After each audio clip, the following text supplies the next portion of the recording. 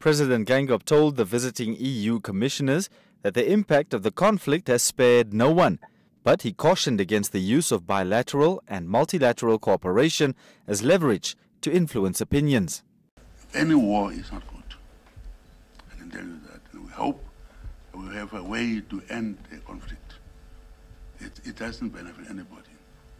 People are losing lives, property, and so on, both sides. So therefore, our position as Africans is that we are neutral, but positive in saying no war is good.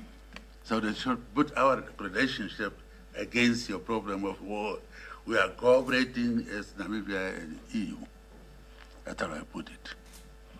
So you put it like we are doing it to help you to escape from other problems.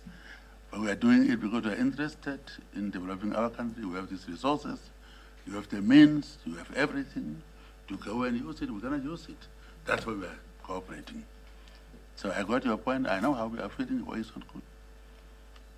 But we are neutral in this one. Africans have been abstaining, it doesn't mean we are endorsing any killing of anybody or so on. Of course, from our perspective, uh, we feel very much, uh, you know, uh, uh that we have to help Ukraine. We have to provide different kind of support, military, financial, humanitarian assistance to them, because we feel that they are not only fighting for their country, but they are fighting for all of us, also for the UN Charter, uh, for, the, for, for, for, for, the values. Uh, but, Your Excellency, what I want to underline, and we also had a good discussion and very frank and open discussion on this topic with your, with your Deputy Prime Minister, this week, we have not turned our back to the rest of the world because we fully understand that even though the crisis is taking place in our European soil, the crisis is global.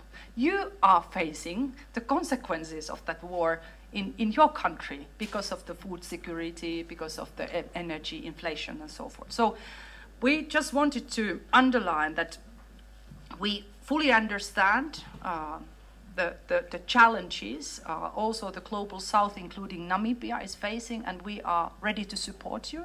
Fully understand, as, as, as my colleague said, the African position. We know what Macky Sall said, we respect it. My comment is that this war, for what it is, is accelerating the fact that we in Europe decided that it was important to accelerate the green transition. We had already this framework, but it is true that we didn't start really. My comment was not, I'm African myself, I'm Senegalese, so I'm, I'm, understand 100% what you say. I'm both. Voilà, je suis avec, c'est mon ami, c'est mon président. So I understand exactly the position of my fellow citizens, believe me.